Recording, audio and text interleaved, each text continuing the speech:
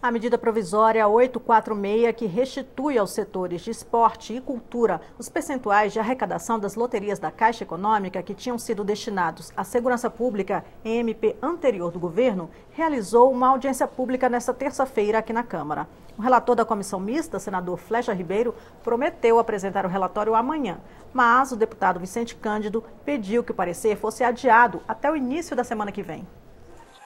Uma parcela do dinheiro arrecadado pelas loterias da Caixa é utilizada em vários programas de interesse social. Em junho deste ano, o governo federal destinou 5% desses recursos para o Fundo Nacional de Segurança Pública. Mas, com isso, retirou grande parte dos recursos que eram destinados pela lei para o esporte e para a cultura. A mudança gerou grande reação e o governo voltou atrás, editando outra medida provisória que aumentou os repasses para atividades esportivas e culturais.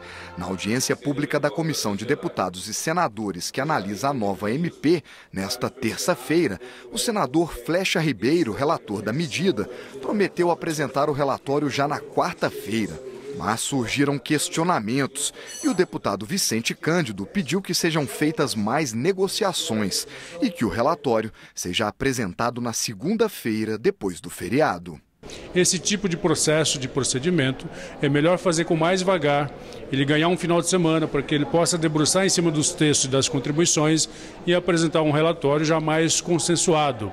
Poderá dar mais velocidade do que fazer um relatório sem ouvir as partes, sem fazer a negociação devida e depois ter obstruções dentro do plenário e não votar, e aí o prejuízo poderá ser maior. O presidente da comissão, deputado Evandro Roman, acha que o relator e sua equipe têm capacidade para apresentar um relatório de consenso já nesta quarta e lembrou que a medida provisória precisa ser votada pela Câmara e pelo Senado até o dia 28 de novembro para não perder a validade. O nosso prazo é um prazo curto nós temos que ter esse entendimento que é um prazo que ele se expira no dia 28 é, do próximo mês, do mês é, de novembro, e nós temos que ter a responsabilidade de encaminhar esse documento, no máximo saindo é, para que possa ser votado a partir do próximo dia 7. O ministro do Esporte também lembrou a urgência para analisar a medida provisória. Essa medida provisória recolocou os, os recursos que tinham sido retirados pelo 841